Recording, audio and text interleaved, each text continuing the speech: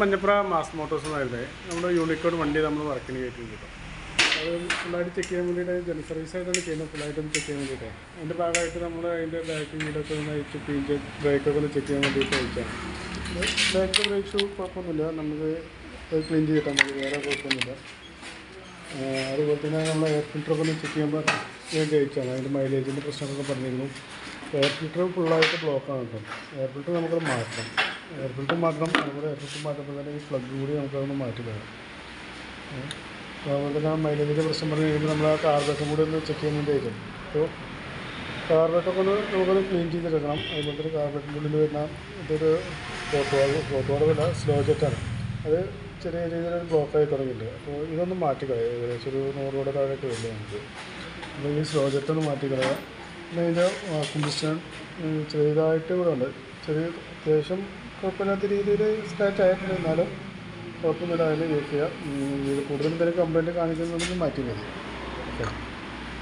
പിന്നെ അതുപോലെ തന്നെ എഞ്ചിൻ ഓയിൽ ചെക്ക് ചെയ്തപ്പോൾ എഞ്ചിൻ ഓയിൽ തീരെ ലെവൽ കുറവാണ് അപ്പോൾ അഴിച്ച് നോക്കി കഴിഞ്ഞപ്പോൾ എഞ്ചിൻ ഓയിൽ തീരെ ഇല്ല ഇല്ല ഒരു നൂറ് മില്ലി ഓയിൽ തയ്ച്ചില്ല അപ്പോൾ ഓയിൽ കത്തിപ്പോകുന്നുണ്ടെന്നാണ് തോന്നുന്നത് അത്യാവശ്യം നല്ല രീതിയിൽ ഓയിൽ കുറയുന്നുണ്ട്. അപ്പോൾ ഇനിയിപ്പോൾ നമ്മൾ അതിൽ ഓയിൽ വെച്ച് കഴിഞ്ഞാൽ പുകടെ പുക വരാനൊക്കെ ചാൻസ് കൂടുതലാണ്. അപ്പോൾ തൽക്കാലം കുഴപ്പമൊന്നുമില്ല. ഓക്കെ.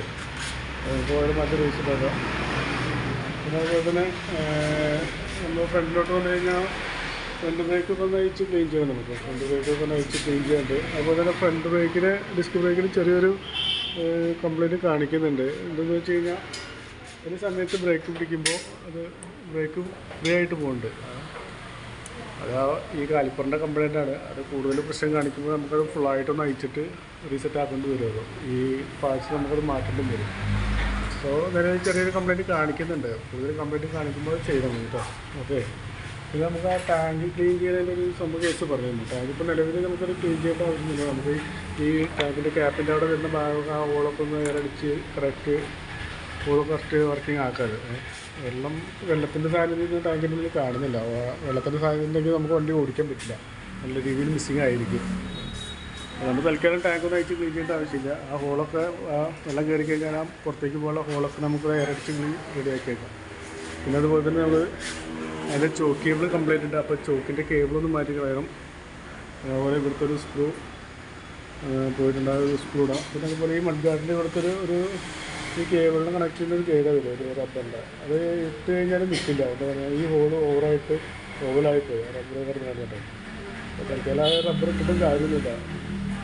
റബ്ബർ കളിക്കാനായിട്ടുണ്ടാവും പിന്നെ പിന്നെ ഈ കേപ്പട മറ്റേ ചെയ്തുകൊണ്ട് കേപ്പട വേണ്ട അതിടാം ബാറ്ററി ഇപ്പോൾ നിലവിൽ സെൽഫും കാര്യങ്ങളൊക്കെ വർക്കിംഗ് ആണ് ഈ കംപ്ലൈന്റ് ഒന്നും കാണിക്കുന്നൊന്നുമില്ല ഇത് രണ്ടായിരത്തി ഇരുപത്തി ഒന്ന് മോഡൽ ബാറ്ററി കിടക്കുന്നത്. ഓക്കെ. ഓക്കെ. അപ്പോൾ ഞാൻ ഇപ്പോൾ നിലവിലുള്ള വർക്കിന്റെ ഒരു എസ്റ്റിമേറ്റ് കൂടി പറയാം. നോക്കിയിട്ടൊന്ന് റിപ്ലൈ തരാം ഓക്കെ.